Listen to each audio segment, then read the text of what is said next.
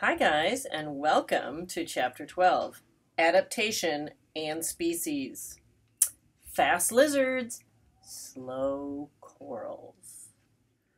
The rapid evolution of lizards and the slow growth of corals offer clues about how species are born. Hmm. Caribbean corals. Carlos Prada did not spend much of his time at the University of Puerto Rico in a classroom. Instead, he spent it in the ocean, studying corals, a type of marine invertebrate. On regular dives onto the Caribbean reef, the graduate student documented the morphology, or the physical shapes and sizes, of a species of coral named, I can't pronounce it, commonly called sea fans. At 12 different locations along the Puerto Rican coast, Prada observed different morphologies of the coral at different depths.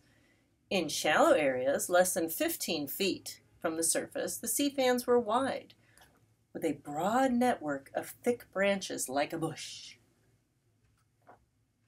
In deeper areas, between 15 and 55 feet from the surface, the sea fans were much taller and spindly, resembling trees with networks of thin branches. They're supposed to be the same species, but they really look different at different depths, says Prada. Curious, as we all are, about whether the morphologies were due to genetics or just a result of surrounding environment, shaping the animals as they grew, Prada began carefully transplanting the corals, moving deep water sea fans to shallow depths and vice versa. What did he find? Well, guess what? Yes, you got it. You guys need to read to find out. Please read the book. You will learn about adaptations and speciation in a fun story. Two fun stories, actually. The beginning of the chapter talks about lizards. What's better than a lizard? Come on, people. Work with me. Read the chapter.